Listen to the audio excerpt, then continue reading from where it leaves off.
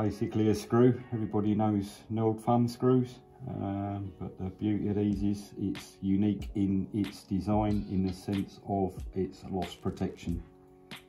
Whereby if I give you a demonstration, this could be a block of any description, could be a door, could be a plate. Um, from a maintenance point of view, could be something that I'm constantly taking apart and putting back together for simplicity. Uh, it could be on a food machine, hence the enhancement of loss protection. As you will clearly see, I wish to take these two components apart. So I clearly undo the screws and separate my two components. That is a demonstrational purpose for me to access whatever I want to access and to indicate the fact that they will remain within my application block regardless of what I do. So they will never be in the scenario of falling into something that I don't wish them to fall into. Um, simply reverse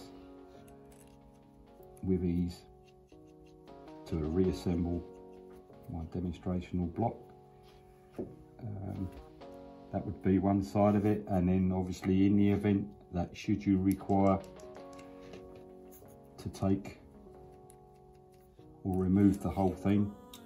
I can still separate the block, although again they won't fall out. If I continue to re remove, I can actually disengage the screw altogether.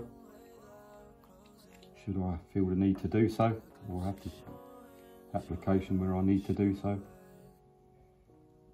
Thereby that leaves me free and available